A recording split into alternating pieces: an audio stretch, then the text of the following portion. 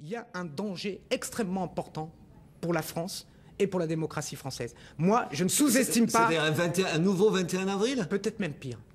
Les choses que doivent être dites. Ceux qui disent aujourd'hui que Marine Le Pen ne peut pas gagner une élection présidentielle mentent. Il n'y a aucun élément politique qui certifie que Marine Le Pen ne peut pas gagner une élection présidentielle. Parce que je n'imagine pas le 21 avril, deuxième tour, comme il s'est passé.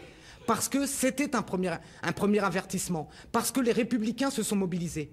Mais peut-être que beaucoup de gens, entre par exemple, imaginons Nicolas Sarkozy, Marine Le Pen, choisiraient peut-être Marine Le Pen.